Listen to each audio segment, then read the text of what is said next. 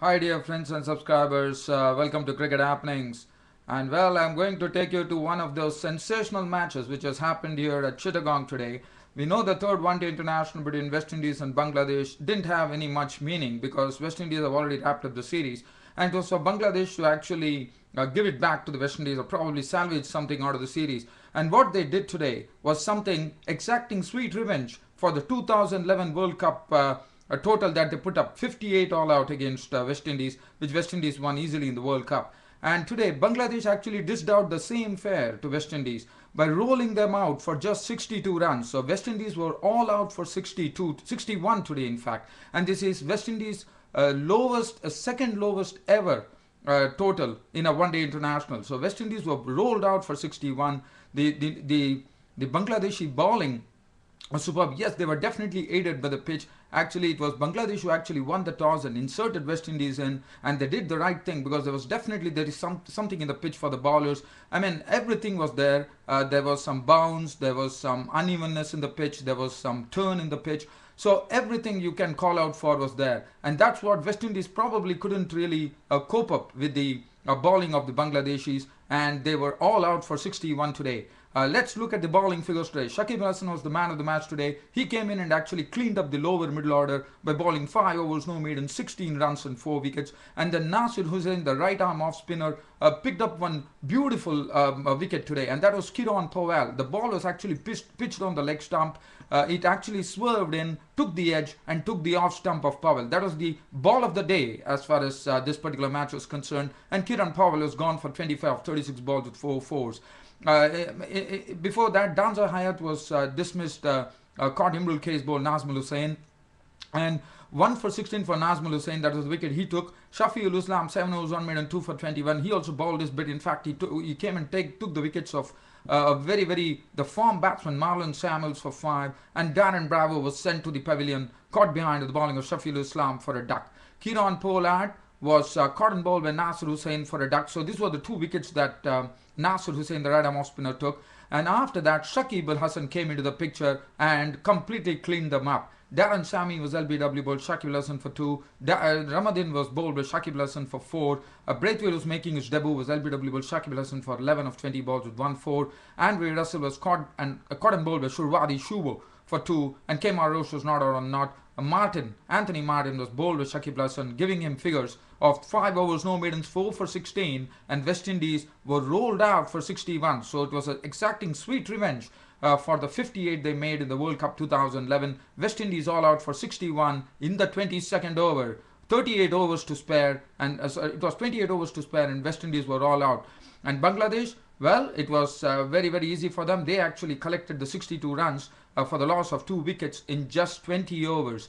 Tamim Iqbal was there uh, playing a very mature knock. Uh, under the circumstances, I thought um, uh, Bangladesh um, really understood that uh, they can't uh, really make any mistakes and uh, they really took their time at the crease. Tamim Iqbal, if you see his innings, he was unbeaten at the end, not around 36 of 62 deliveries with three fours. And uh, Imrul Kayes was gone. He was caught Pollard ball, Roach for 11. Shahriar Nafees uh, was clean bowled by Samuels for a duck. Other than that, there was no reward for the West Indies. Mushfiqur Rahim, the captain, was not out on 10 and the and that that's at 62 for 2 of 20 overs. And Bangladesh actually winning this match by 8 wickets. A very comprehensive victory. Kemar Roach 5 overs 1 for 16 Darren Sammy 2 overs for 12 Marlon Samuels 8 overs 1 made and 1 for 15 and Anthony Martin the leg spinner 5 overs 1 made and 1 for 14 Shakib Hasan was the man of the match. And the player of the series went to Marlon Samuels of the West Indies for his uh, tremendous form there. And um, let me tell you, Bangladesh, even though they lost this series too, but they came back hard. Even though West Indies took the two,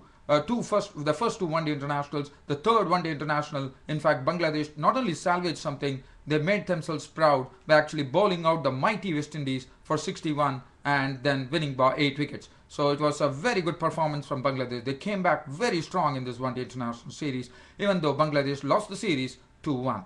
Now I take you down to Abu Dhabi, uh, the Sheikh Zayed Stadium in Abu Dhabi, where today was the first day's play with the match between Sri Lanka and Pakistan. Stumps on day one, uh, Pakistan were 27 for no loss, putting up a very, very good bowling performance. The bowlers did an admirable job to actually bowl, bowl the Sri Lankans out for 197. Now, it was very, very surprising the Sri Lankans could make only 197. This was an absolutely uh, dead pitch. There was nothing in for the bowlers, barring a greenish tinge. But uh, basically uh, the bowlers not probably the credit has to go to the bowlers for the way they bowled actually. Because there was nothing in the pitch. The, the batsmen could actually stay there and collect the runs they could have done that but they didn't do that. In fact um, uh, the bowling the credit has to go to the bowling. If you look at the bowling figures uh, Umar Gul 11 overs 1 maiden 2 for 37 his figures. Aizaz Cheema is very impressive even though his uh, bowling figures don't reflect that he was, uh, he was he was he was very very uh, effective. In fact, he continued the same form that he showed against Zimbabwe. 15 overs, five maidens, one for 51. Mohammad Hafeez nine overs, three maidens, none for 12. Junaid Khan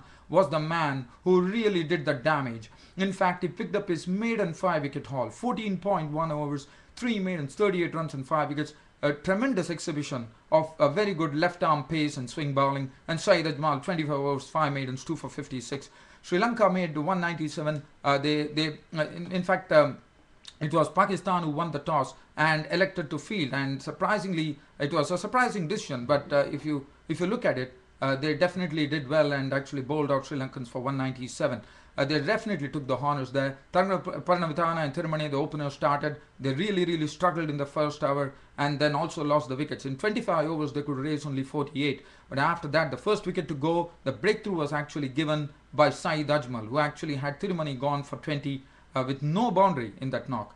Uh, Tharanga Paranavitana at the stroke of lunch was dismissed by Umar Gul when he was caught by Adnan Akmal for 37 with three fours. And after that, Aizaz Cheema produced a very good delivery uh, Sangakkara was caught behind for two. Uh, that was the third wicket. After that, uh, it was 79 for three. And then uh, Junaid Khan came in and uh, forced uh, Mahela Jayawardene to edge one to Mohammad Hafeez in the slips for 28 uh, with just one six. And uh, Saeed Ajmal picked up the uh, captain's wicket as Tilak Dilshan was caught behind for 19 of 22 balls two fours.